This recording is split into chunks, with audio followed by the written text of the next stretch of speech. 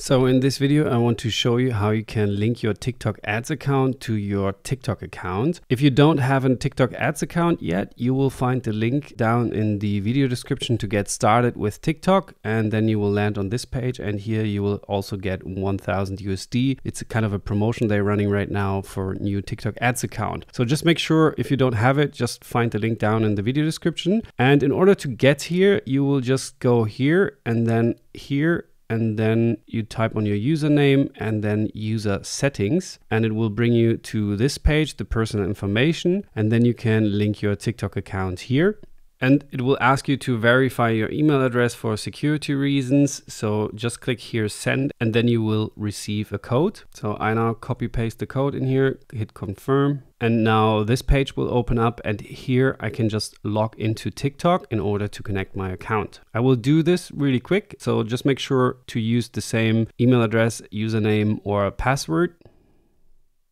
And now I get a screen with suspicious activity and I will get another code again and I will just type it in. And I just paste it in here, click next.